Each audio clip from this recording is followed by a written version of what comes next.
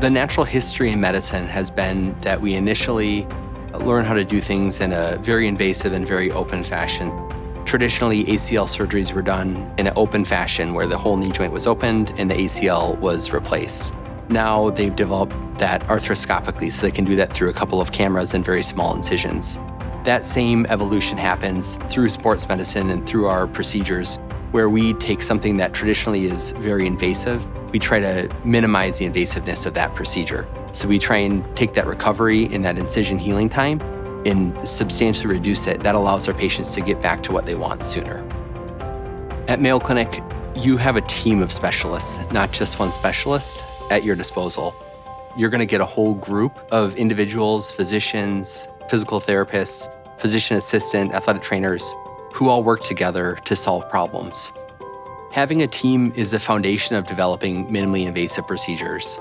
So we gather clinical anatomists and orthopedic surgeons, sports medicine specialists, uh, physical therapists, sports medicine physicians, and we try and assess how can we improve this procedure or this outcome.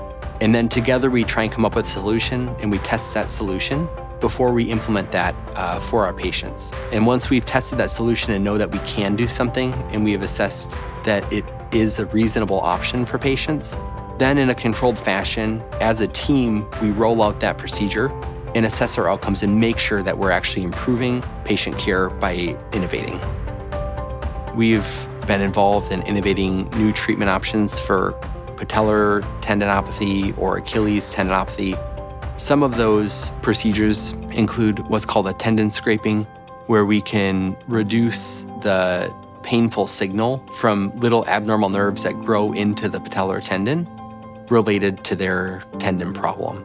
And with that, we're able to take a traditional surgical recovery of several months down to a couple of days to a couple of weeks, which allows our athletes to return back to their sport the same season. Patients with plantar fasciitis tend to come and see us after they've been dealing with their pain for years or even decades sometimes.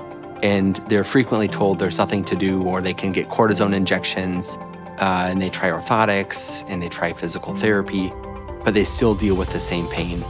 Some of the procedures that we're able to offer can take those patients and uh, reduce their pain substantially.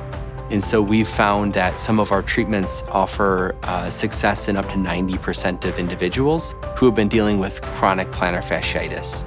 And so that can either include what we consider an ultrasonic fasciotomy or a platelet-rich plasma procedure. When we perform these procedures under ultrasound guidance, the complication rate drops to almost nothing. Typically, patients have no scar after the procedure. They have minimal pain after the procedure, the complication rate is very low. If you send a patient to Mayo Clinic, we're going to come up with the best solution for their particular problem.